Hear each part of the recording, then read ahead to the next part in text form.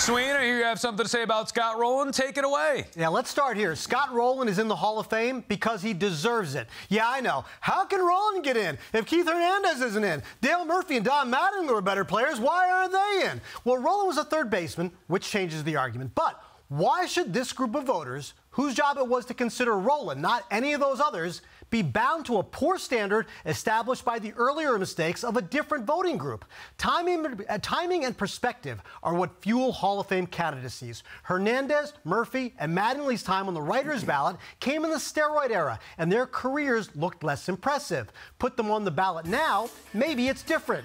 Rolen hit the ballot in the analytic era that turned comparing players into a more nuanced argument than I saw Scott Rolen play and I never thought I was watching a Hall of Famer. If that's what you're bringing to the table, it doesn't mean you were right. It means you should really be asking yourself if you were watching closely enough. Being better educated means putting in more players who deserve it, and hopefully justice arrives for Hernandez, Murphy, and Mattingly down the road.